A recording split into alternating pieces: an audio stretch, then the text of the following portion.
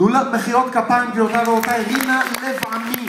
הרי עם שם כזה, גם רינה וגם לב עמי, איך אפשר שלא לשיר כל כך הרבה שנים?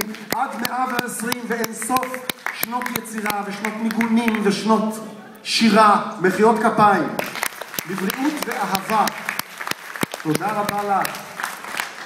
וכנראה היא עשתה זאת בדרכה שלה, אז בואו בוא נשאיר רגע את Way, אני פה באמת לקחתי, באמת אריק, אריק לביא, השנסיונר הישראלי הגדול, כתב